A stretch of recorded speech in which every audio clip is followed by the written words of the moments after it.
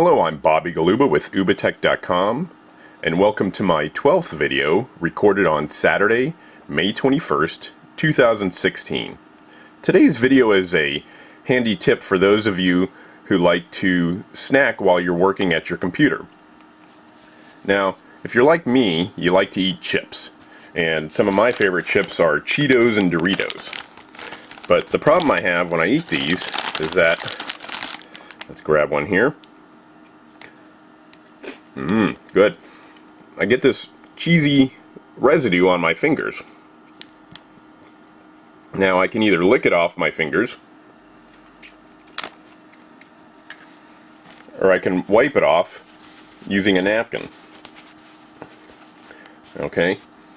But I still end up with a greasy residue on my fingers that I can't really get rid of unless I wash my hands with soap and water. So instead of using my bare fingers, what I like to use is a set of chopsticks. So let's see if we can grab one of those babies out of there. Okay, so there we go.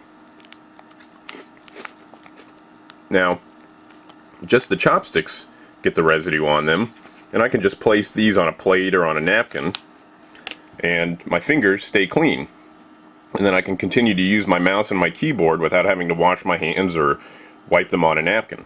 If you don't have a set of chopsticks, what you can use is a pair of tongs.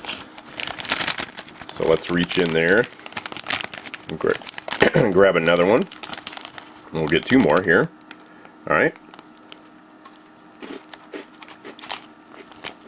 So these work pretty well as also Alright, now when I'm working on my computer I also like to eat fruit or sometimes when I'm working during lunch I'll even use them to eat my sandwich.